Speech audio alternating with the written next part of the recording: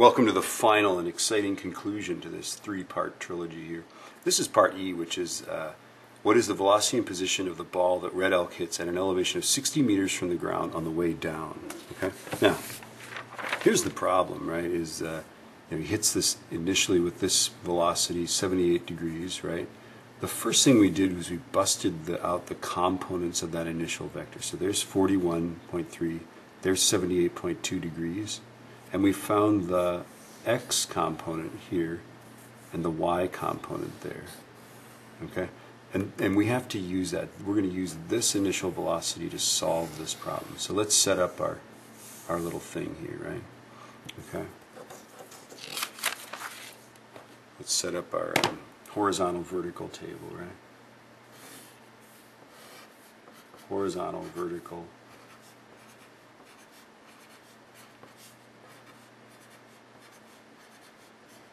Okay, and now we're just going to borrow some values from that table there, right? Our initial velocity is the same one, right? So it's 8.4457 meters per second, right? And then the initial vertical is 40.4272 meters per second. And again, we got those from cosine and sine, right? From the original problem. Now we're all set. We can just keep going here. An elevation of 60 meters, that must be a vertical thing, right? Acceleration here is negative 9.81, right? Um, and then we also know this acceleration is zero.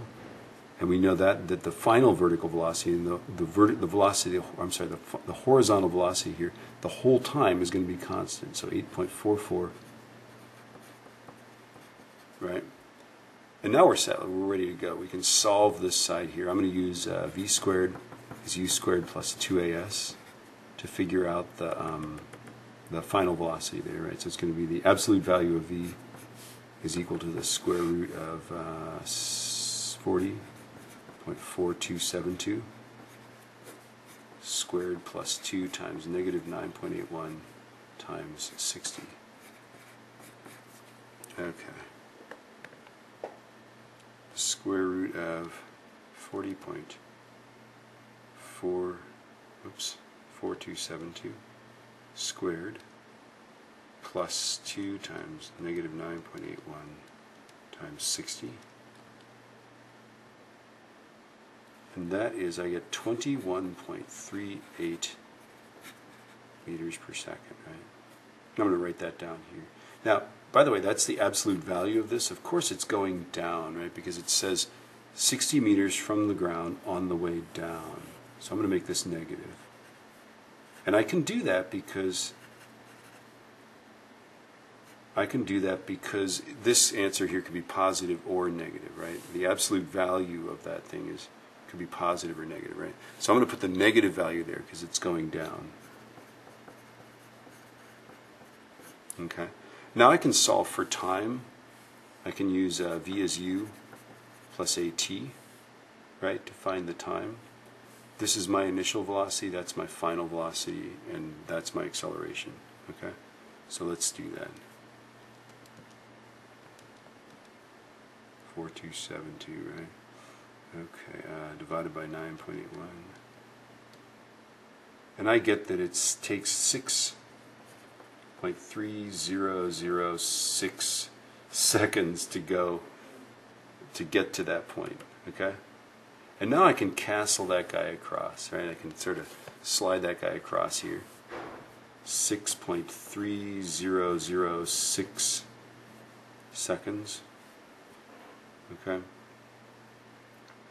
40.4272. Yeah, there we go. Okay, and now I'm all set. I can use S equals UT to find out our displacement, right? Okay, so let's do that. That's going to be this times this. So I'm going to multiply that number times uh, 8.4457.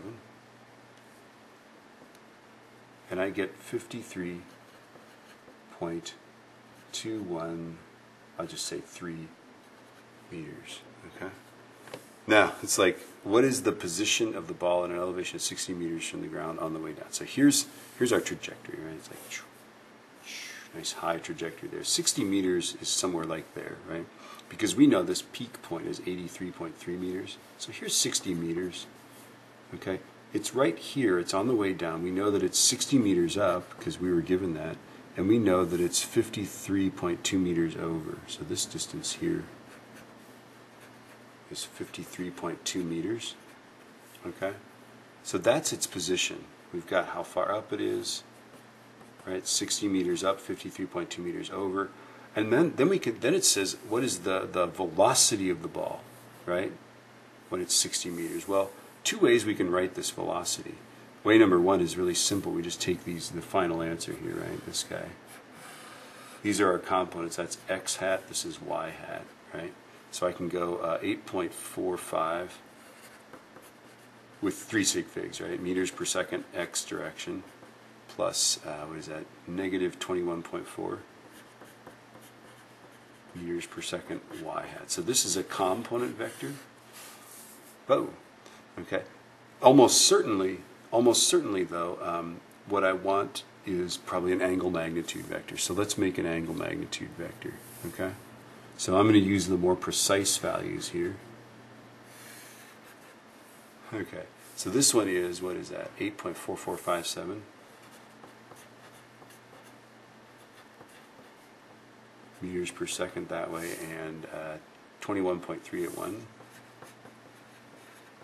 meters per second down, right? The magnitude of this, or the speed of it at that point, is the square root of